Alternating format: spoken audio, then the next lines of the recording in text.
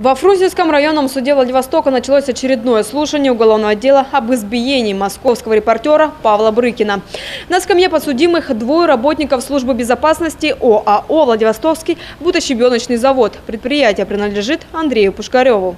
Уголовное дело было возбуждено по части 3 статьи 144 Уголовного кодекса Российской Федерации «Воспрепятствование законной деятельности журналиста путем принуждения к отказу от распространения информации с применением насилия». Максимальный срок наказания – до 6 лет лишения свободы. Напомню, журналист программы «Дежурная часть» Павел Брыкин приехал в Владивосток с редакционным заданием – снять сюжет про главу города Игоря Пушкарева. Но, как заявил Брыкин, неизвестные угрожали и применили насилие во время записи репортажа с братом мэра Андреем Пушкаревым. Они пытались повалить меня на землю, оттолкнули меня в сторону, я потерял равновесие, облокотился правой рукой на перила э, клумбы металлические. Они пытались выхватить у меня камеру. В этот момент э, Э, говорили мне, что мне не нужно здесь ничего снимать, э, чтобы я не лез в это дело, и что они со мной обязательно разберутся. Предполагаемых нападавших на журналиста задержали сотрудники Следственного комитета. В июле фигурантам дела суд назначил меру пресечения – домашний арест и электронные браслеты на ноги до середины декабря этого года. К рассмотрению дела по существу суд приступил 21 сентября. Поскольку потерпевший не мог лично присутствовать в суде, было принято решение – допросить его дистанционно с помощью видеоконференции. Но сделать это в назначенном назначенный день не удалось, так как репортер без уважительной для суда причины не явился на онлайн-заседание, что вызвало негодование у суда. По словам присутствующих на процессе, суд обратился напрямую к коллеге Павла Брыкина, которая была в зале, в отличие от потерпевшего, с просьбой доложить руководству Брыкина и повлиять на него с целью вести себя по отношению к суду этично и законопослушно.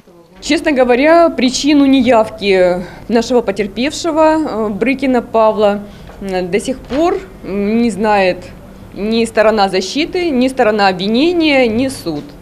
Э, было заявление от самого потерпевшего, которое э, представлено суду. Согласно данного заявления, наш потерпевший э, полагает, что он дал следствию полные, исчерпывающие сведения. Сегодняшнее заседание было посвящено исследованию материалов уголовного дела. На это ушло около часа. Присутствовали на процессе обвиняемые, адвокаты и журналисты. Однако представителей ВГТРК на этот раз в зале не было. Допрос Павла Брыкина перенесен. Точное число пока неизвестно. Либо на 19 октября, либо на 26. К слову, Павел Брыкин уже не раз был замечен в потасовках. В 2011 году начальник ГИБДД Приморья Александр Лысенко, пытаясь уйти от вопросов журналиста, чуть не задавил того личным автомобилем. А летом 2014 года его избил неизвестный в Москве во время съемок сюжета о самоубийстве высокопоставленного полицейского. Алина Черненко, Андрей Макаров. Новости на восьмом.